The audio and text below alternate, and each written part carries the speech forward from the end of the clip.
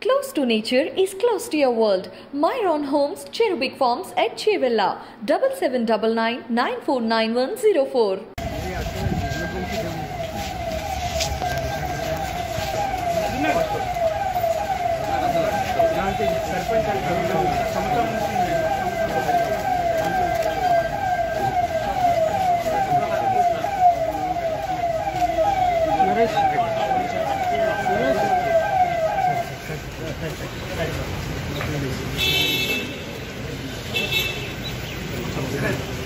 BRS మీద MA party మీద?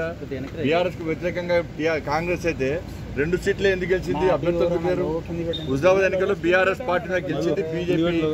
కాంగ్రెస్ కరువైంది.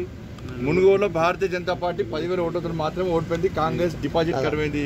మరి బీఆర్ఎస్ పార్టీకి వెళ్ళే కొట్టాడింది ఎవరు? ఎమ్మెల్సీ ఎన్నికల్లో టీచర్స్ ఎమ్మెల్సీ ఎన్నికల్లో బీఆర్ఎస్ పార్టీ కాంగ్రెస్ పార్టీ గెలిచింది భారతీయ జనతా పార్టీ. అది కాంగ్రెస్ వాళ్ళు అనుకుంటే కాదు కదా. ప్రజలు అనుకోవాలి బీఆర్ఎస్ పార్టీ వ్యతిరేకంగా కొట్లాడుతుంది ఎవరు? ప్రజలు ఎవరికి బీఆర్ఎస్ పార్టీకి వ్యతిరేకంగా ఓట్లేసి గెలిపిస్తున్నారు? ఎవరికి డిపాజిట్ కరువుతుందో ఇలా ఎన్నికల సరళి చూస్తే ఫలితాల సరళి చూస్తే ఏర్పడుతుంది. వాళ్ళకు వాళ్ళు జబ్బ జరుపుకుంటే మేమే మేమేంటే ప్రజలు గుర్తించాలి కదా ఫస్ట్ మా ఎంబడి ప్రజలున్నారు.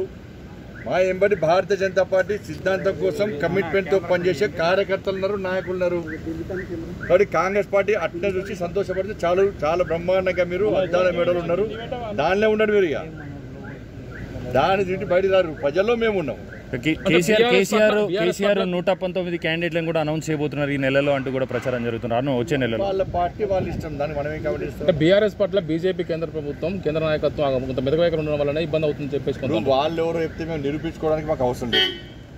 అవినీతి పరుల మీద ఇక్కడ కుటుంబ పాలన మీద తప్పకుండా కేంద్ర ప్రభుత్వము డేగ కంట చూస్తున్నది.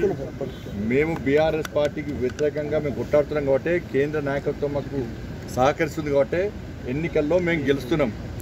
ఎక్కడ ఎన్నికలు జరిగినా మేము గెలుస్తున్నాం. బీఆర్ఎస్ పార్టీ మీద గెలుస్తున్నాం. బీఆర్ఎస్ పార్టీ కాంగ్రెస్ పార్టీ కలిసి పోటీ చేస్తారని ఎవరు చెప్పారు? కోమటిరెడ్డి వెంకట గారు చెప్పారు.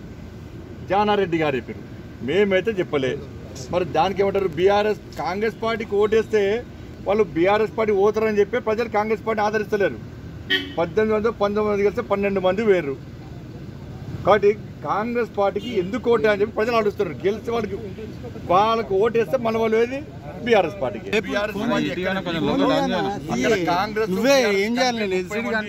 అభ్యర్థులను నియమించుకొని వాళ్ళకు. పాకెట్ మనీ లెక్క కోట్ల రూపాయలు ఇస్తున్నారు. వాస్తవం ముప్పై మందికి. ఇంకా వేస్తున్నాడు ఇంకా. ఫస్ట్ ఈ పదిహేను మంది సెలెక్ట్ చేసుకున్నాడు తర్వాత మళ్ళీ పదిహేను మంది. ఇలా ముప్పై మంది అయ్యారు ఇంకో పది మందినో ఇరవై మందికో డబ్బులు ఇచ్చి వాళ్ళను సాదుతున్నాడు కేసీఆర్ సార్. కాంగ్రెస్ క్యాండిడేట్ ధన్యవాదాలు. ఇవాళ సాయంత్రము మా జాతీయ అధ్యక్షులు జేపీ నడ్డా గారు వచ్చారు. ఇప్పుడే మేము స్వాగతం పలికినాం. సాయంత్రము ఆ, నాలుగు గంటలకు నకరికల్ నాగరికల్లో ఉన్నటువంటి ఆ పార్లమెంట్ నియోజకవర్గానికి సంబంధించి బహిరంగ సభను ఏర్పాటు మరి ప్రజలు కార్యకర్తలు స్వచ్ఛందంగా పెద్ద ఎత్తున తరలివలసిందిగా మేము అందరికీ అప్పీల్ చేస్తున్నాం. అన్ని ఏర్పాట్లు పూర్తవుతున్నాయి నేను ఇలా ఇప్పుడు వెంటనే నాగరికల్కు బయలుదేరుతాను. Thank you.